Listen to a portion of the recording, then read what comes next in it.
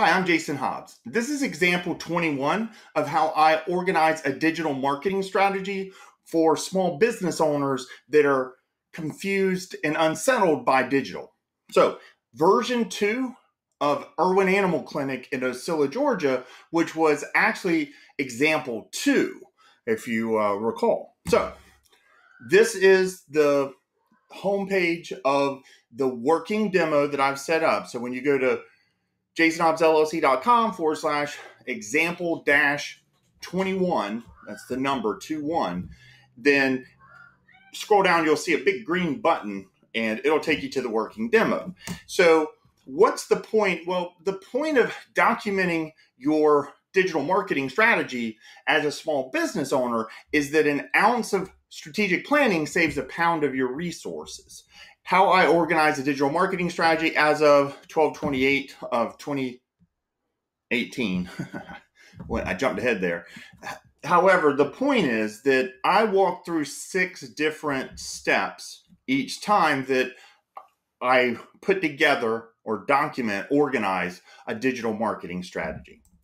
Research, foundation, audience, prospects, customers, and campaigns. So the first step is we start with research the idea is to put together what we call a SWOT chart, which is strengths and weaknesses, opportunities and threats for this specific brand, and establish a clear goal for the strategy.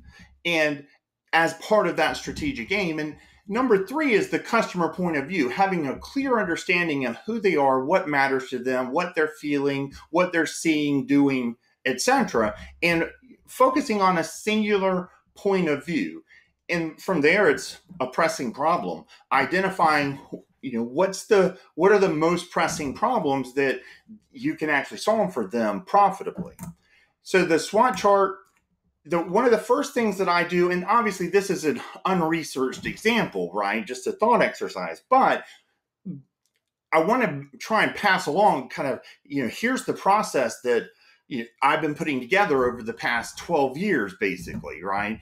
And I start by Googling it. So, I, do they have a website? No. That's what we call digital sharecropping because they're basically running their digital presence through their Facebook page, which means that Facebook is in between them and communications with their customers and audience members, etc. Right? There's not a direct relationship. So here's some some of the questions possible there could be more there could be less. It always it's individual to the unique context right? And it, the idea is to not just have a bunch of questions that kind of ram down someone's throat is to have a conversation and ask i like to understand why. As often as i can if i can understand what you're doing and why you're doing it then it's going to make it so much easier to help you document your digital marketing strategy and have something that just feels comfortable and natural to you as far as managing it moving forward, right? So, a couple of reports possible, but it's all putting together the strengths, weaknesses, opportunities, and threats. And the goal is to cease the digital sharecropping and begin organizing their own direct audience of pet people right? People that have pets, not that they're enslaving people or anything. All right, so how will they build that audience that's relevant is by creating their own media. So rather than being an advertiser and getting access to other people's audiences, they're going to build their own audience with their own media.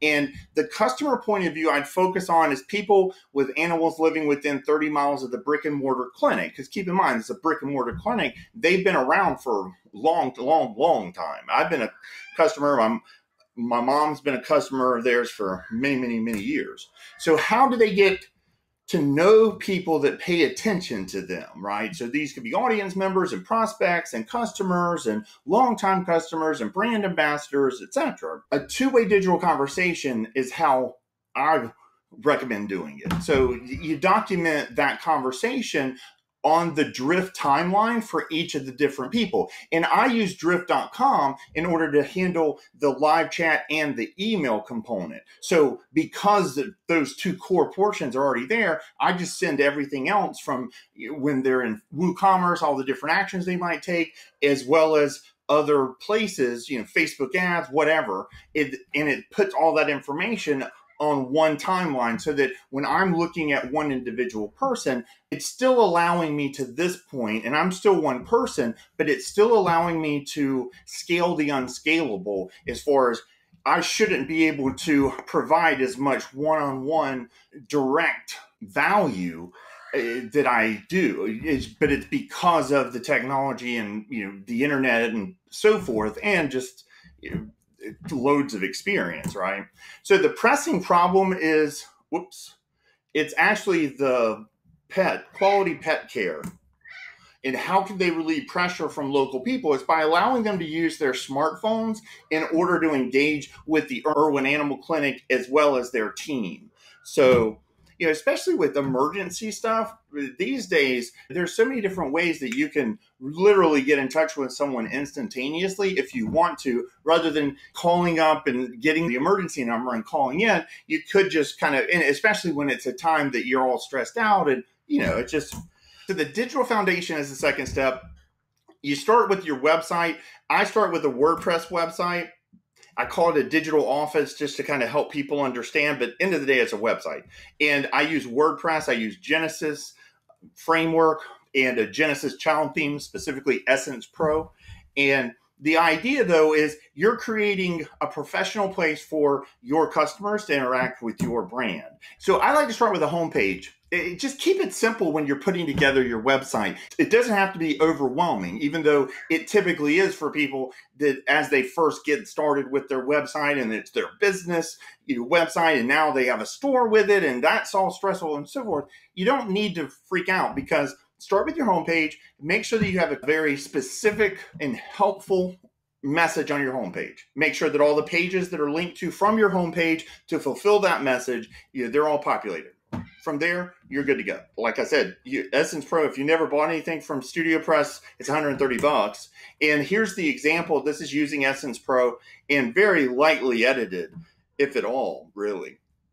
It's more of just a stock. And when you scroll down, you can see that they can log in and register right there on the homepage. And if they do log in, that area will be replaced with their account with Irwin Animal Clinic, which is just so much more convenient for people, especially for me as a user. Like I'd love for them to do this.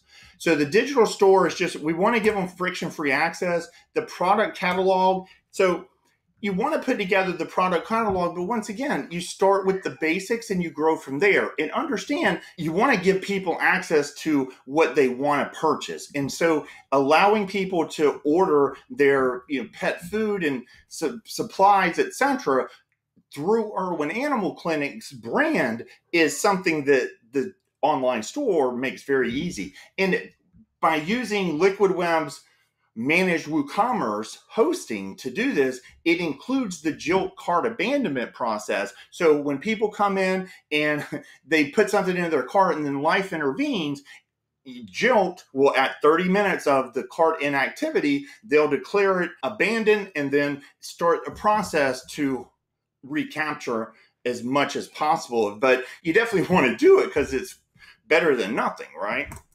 And so here's an example, and I put together some, and those are my pets. Uh, well, the middle one is my mom's uh, pet, actually my aunt's now, and then that's Lizzie on the right, and that's my cat advisor Darcy as a very tiny baby on the left. So, and when you put, you know, there's a cart that you can go and you can check out and etc. So the idea is you have your home page, which is your basic website, kind of the office area, and then you have your store, and then you also have your media archive. Because once again, you have that direct relationship you're building with customers as opposed to renting access to other people's whether it's the billboard company or what you know it's just you're still renting access to other people's audience and in this instance, you're building your direct. So you want to have that archive, the home of it, on land you own, which is your website. And that's going to be comprised of video, audio, and written images, ideally, because you want to take the burden off of the the customer or the end user, that person that's going to actually watch your media or eh, listen to it or read it or whatever. It's not hard if you start with video to produce all three from that same thing. It's the same story so to speak, but you're just putting it into each of the three different formats. And so by doing it all three, then whatever way that we want to, you know, someone wants to consume it, it's available. And that's a good thing because that gives you a, a, higher percentage of your potential audience, be, you know, remains available because of that. So here is an example of the blog or media page and there's a, I put a couple of dummy posts just to kind of show, but it's really a case where you put everything there, and here's the actual blog, you know, so you just kind of show you. All right, so the audience is the third step, and the idea is to make sure that you have a plan in place to grow your own audience. So some things that I've learned to kind of get started is number one, you got to start first and foremost, and along with that understanding take a deep breath and be yourself. I would start by documenting, just focusing on documenting the Irwin Animal Clinic story. So now Irwin Animal Clinic is going to view themselves as their own media company. So they have a media budget, they have a media team, and they have you know, their own expectations and so forth. But commit to a weekly list of media deliverables. That's kind of the idea behind, okay, I'm committing to being my own media company. That's where the rubber hits the road, if you will. And the second guiding principle, if you will, that I've learned over the years is focus on your customer, period, full stop. So document answers to questions their customers are already asking the staff day in and day out. Start there. That's going to take up plenty of time. And then from there, you can tell stories about the customers and about the team and about the animals that you see and tell their story. I mean, it's just, there is just limitless opportunities for you to create media that wins loads of additional customers potentially, but also just makes it so easy to introduce your brand to people across the world because of the internet, right? And then you have all three versions, you know, that, as I mentioned and I kind of explained previously. And then consistent and committed action, you, you need the repetition. You have to create something and then you have to share it with the world. If, if you put it on a shelf, it doesn't matter how many videos you create, you don't learn until the market's actually consuming it and you're getting real time feedback from them.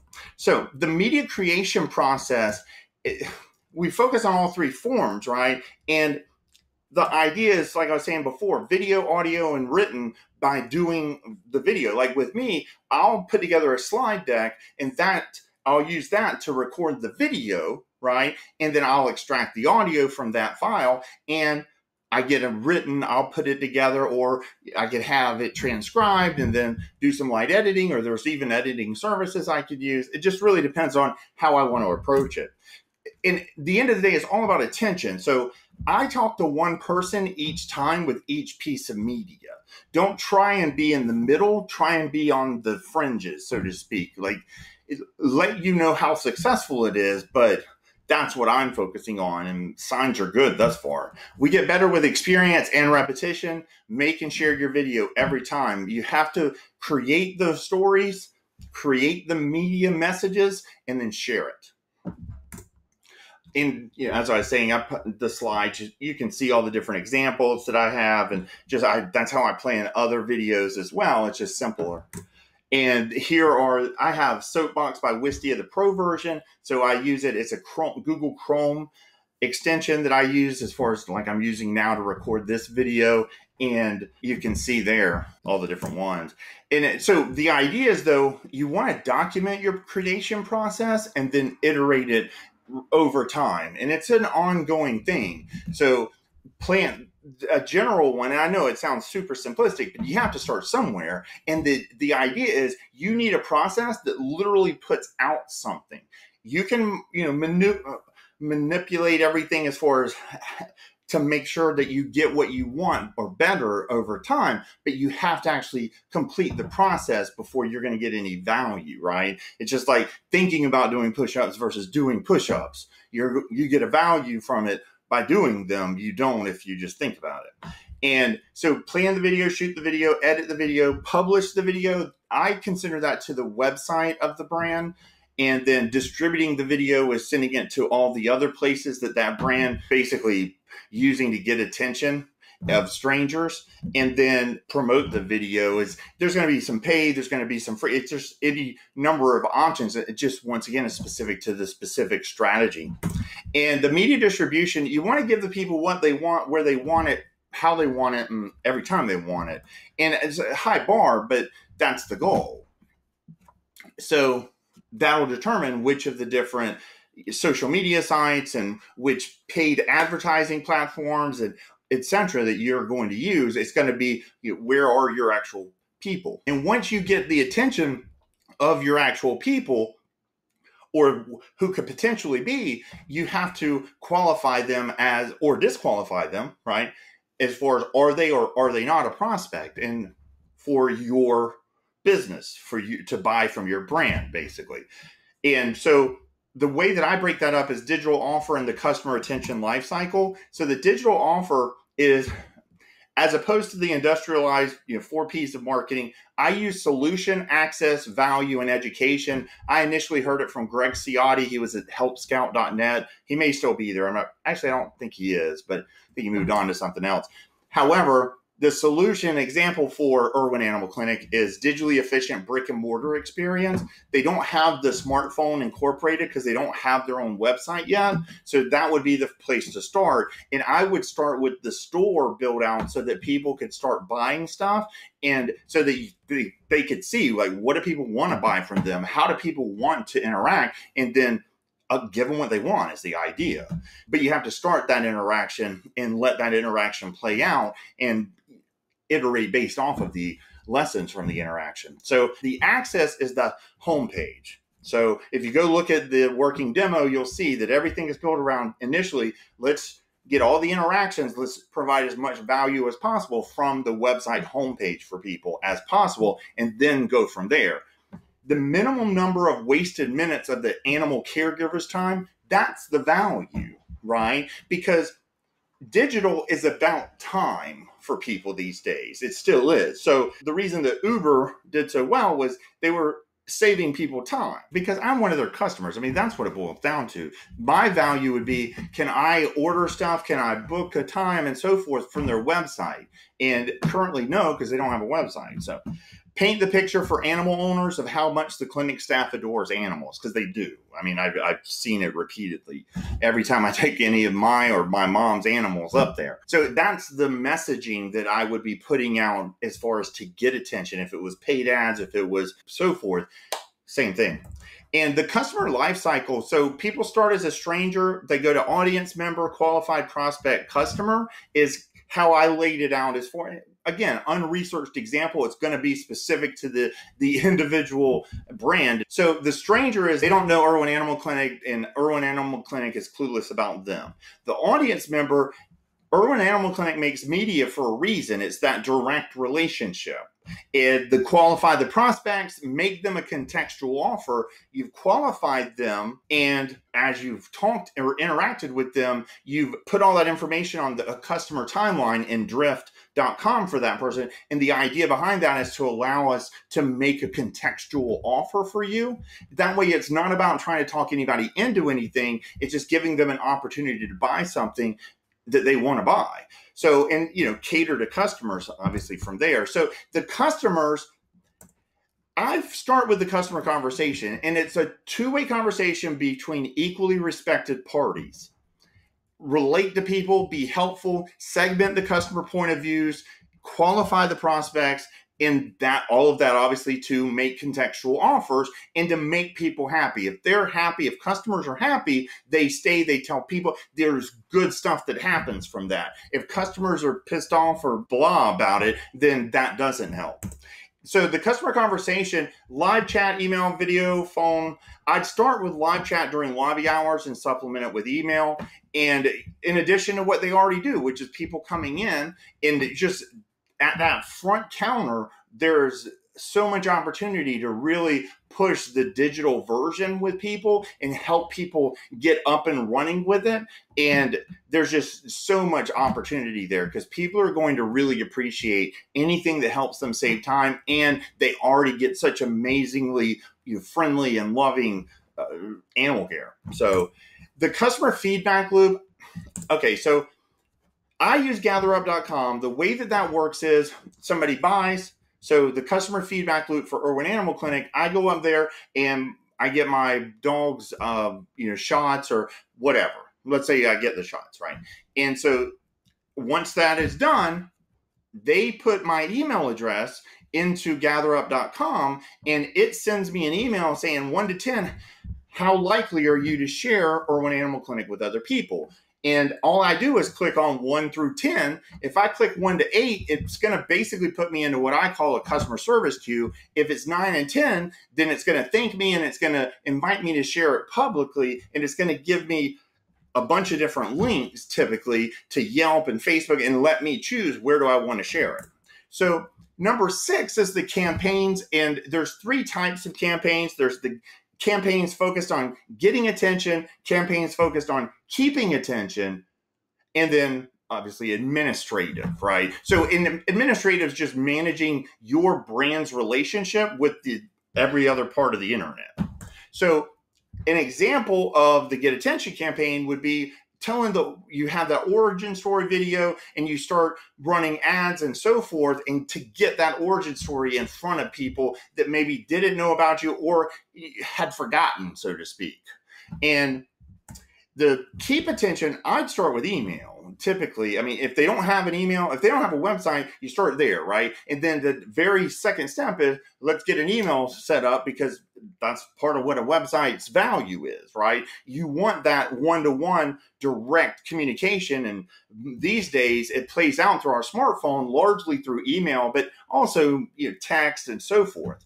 So the idea is to make it easy for customers to carry on their own conversation with Irwin Animal Clinic and just get the information from Irwin Animal Clinic when they want it, how they want it.